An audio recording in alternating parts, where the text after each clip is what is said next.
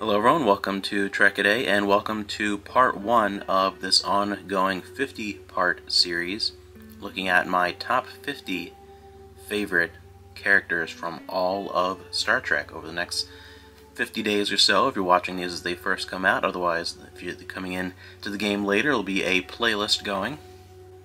Love to hear what some of your favorite Star Trek characters, and let's begin with number 50, Sarek.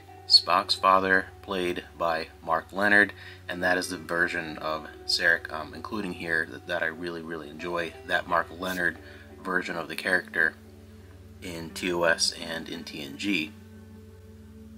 I've always enjoyed what depth his character added in TOS to Spock's character with his appearances there, as well as a deeper understanding of Vulcan culture, and as well as that internal conflict within Spock. I think the I think the presence of Sarek in TOS was one of those things that added a lot of depth and complexity and understanding to Spock, and adding to one of the most essential characters into that series makes it a very important role and was sold perfectly by Mark Lenard, was already a character that I would have enjoyed, but I'm not quite certain if in isolation the TOS appearances and then the movies would have been enough to make him quite into the top 50. Maybe, maybe not.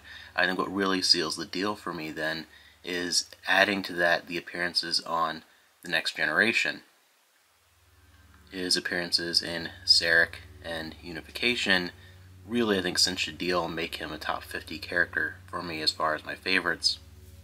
Was such an emotionally driven and an emotionally truthful feeling struggle within the aging Sarek, and those appearances to me really added the greatest amount to the character and are why he became one of my favorites. And those are episodes that are some of my favorites within TNG. You know, Sarek is one of my favorite episodes, and a lot of it is based on that character and that performance.